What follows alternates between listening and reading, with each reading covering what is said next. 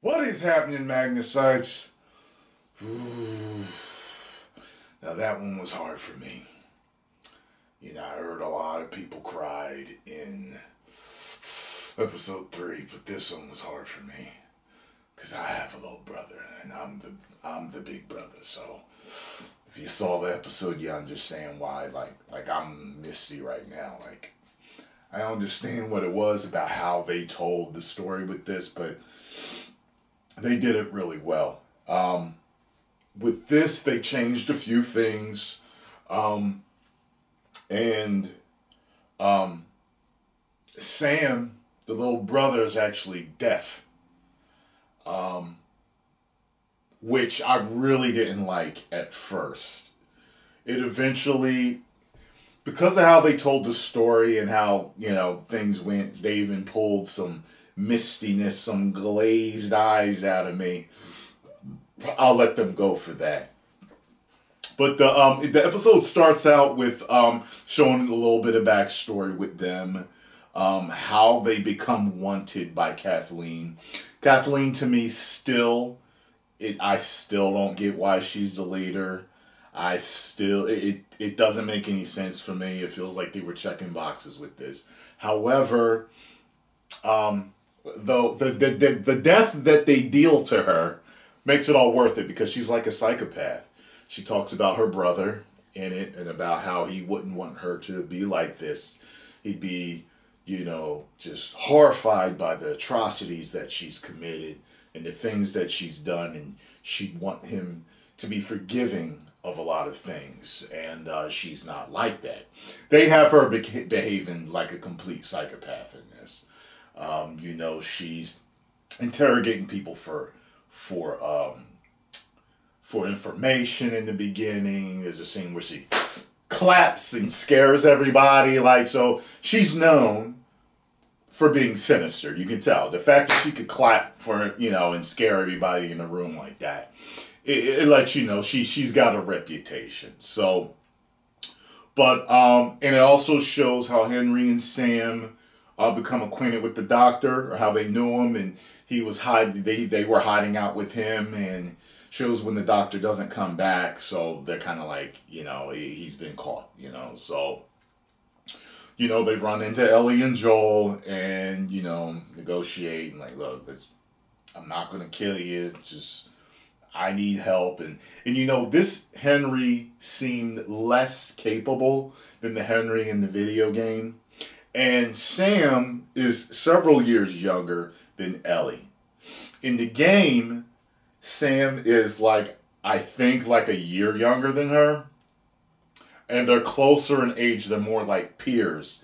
And it even alludes to the fact that he's kind of got a crush on Ellie. Ellie doesn't have a crush on him in the game, but they get along. So they're like peers.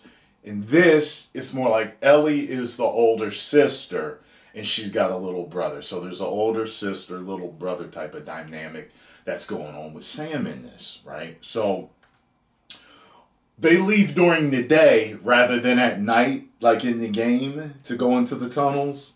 And they do run into the whole uh, thing where you found all the notes and you find that the guy had invited um, the woman with children or whatever to live there in the tunnels with him. The guy that got like what what was he? got shipwrecked or whatever from the game. You never see him, but you see all the notes that he left and the, the place that he built for himself in there, and um, they show you know the playroom and everything. I'm like, okay, okay, like you know, I'm, I'm, I'm like you know, I'm getting along with the changes, but I'm you know, I'm also like looking at different things that they've added in there.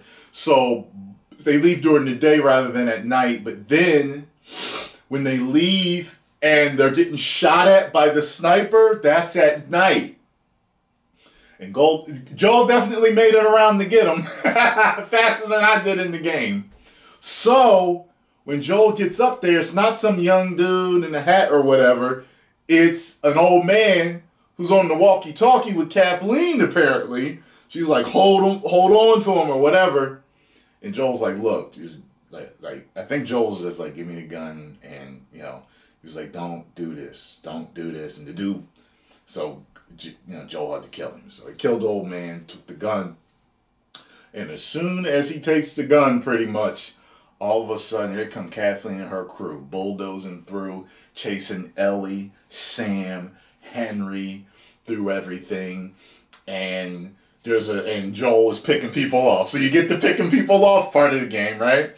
So then there's a giant explosion from one of the trucks or whatever, and I was like, wait a minute, we ain't seen no infected. And apparently they supposedly live underneath the city. They've been driven down there. That's what Henry said three years ago. They were driven down there. so I'm like, okay. I'm thinking here, and man, Kathleen almost has her hands on Henry. He gives up. He doesn't want her to hurt the kids. She's talking psychopath stuff about kids die all the time. Sorry, maybe they're meant to die. You know, all that type of crap. She pulls out the gun on him, and boom! Yo, they came out like World War Z out of the ground running, tearing her men up. I mean, a whole lot more of her men showed up than what you had to pick off in, in, the, in the game. So, oh man, they going off. Trying to shoot them, trying to mow them down. Joe's trying to save them from getting. Yo, Ellie got in her neck stabs. They they had Ellie take out two of the uh the I was gonna call them walkers. two of the infected with, with her neck stabbed from the game. I'm like, okay, throw shit in there. So, um, you know, shows the zombies trying to get at Henry and Sam. And uh, so, um, Kathleen gets jumped on by this little girl that's infected, right? But it showed Ellie was attacked by her first, and she was all doing that like possessed type of walking and flipping over and walking backwards type of shit you be seeing in possessed movies and shit. Yo, I was like, okay, that's a nice addition there. so she got hers, and it felt so good to see her get hers. So I'm like, as much as I felt like she didn't work, she was such a sick individual, and she got what she deserved. So she got a great villain ending. So for that, um, so um, you know, oh, and the bloater came out.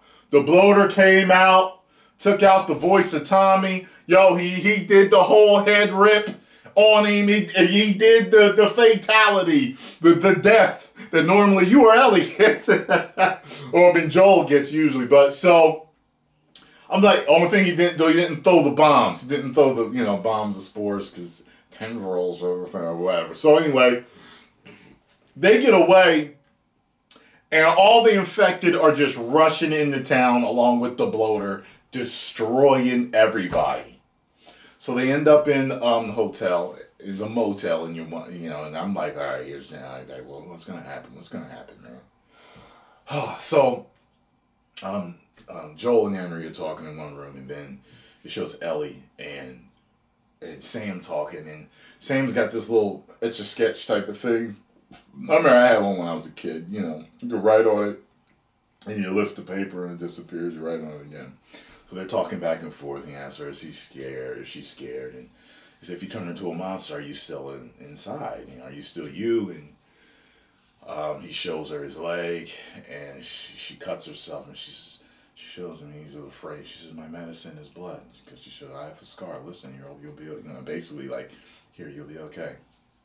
So I'm thinking, oh, are they to change this? Are they not to kill him? You know what I mean?